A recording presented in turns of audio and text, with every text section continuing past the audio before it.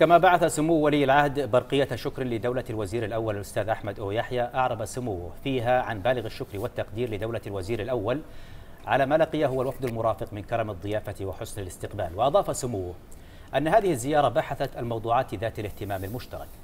كما أكد سمو ولي العهد حرص البلدين على المضي قدما في ترسيخ العلاقات الثنائية بينهما في ظل قيادة خادم الحرمين الشريفين والرئيس عبد العزيز بوتفليقة.